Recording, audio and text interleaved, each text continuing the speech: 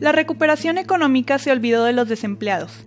El último reporte de la Organización Internacional del Trabajo, publicado ayer, afirma que si bien es cierto que el mundo está superando los efectos de la crisis financiera, las tasas de desempleo permanecen igual. México no es la excepción. La tasa de desempleo en el país se disparó del 3.4% en el 2007 hasta ubicarse en niveles cercanos al 5%. La escasez de empleos coincide con los peores momentos de la crisis económica. Sin embargo, es un tema que hasta la fecha no ha podido ser superado. La Organización Internacional del Trabajo estima que en el 2013 el país registró una tasa de desempleo del 5% y que durante los próximos tres años se mantendrá estable.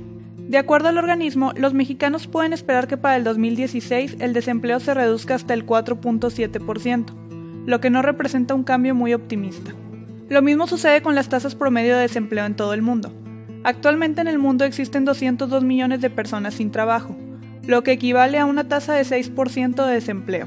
Esta cifra se mantendrá estable en los siguientes años, ubicándose en el 6.1%.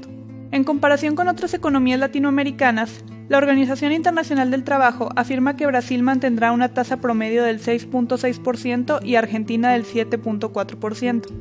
De tal modo, México se adhiere a la tendencia internacional en temas del empleo. Incluso se podría decir que sus porcentajes de desempleo se encuentran por debajo de la media mundial. Por otro lado, el rubro en donde sí destacamos es el número de jóvenes que ni estudia ni tiene trabajo, los famosos ninis. Este gran sector de la población ha estado presente incluso desde antes de la crisis económica.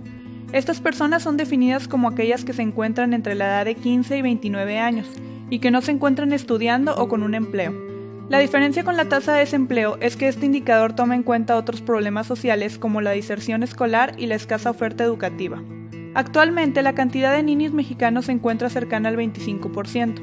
Entre las 40 economías que analiza la Organización Internacional del Trabajo, México es el cuarto país con más ninis de todos, solo por debajo de Turquía, Macedonia e Israel. Otro de los aspectos que destaca la Organización Internacional del Trabajo de nuestro país es el gran porcentaje de la población que se encuentra en la economía informal.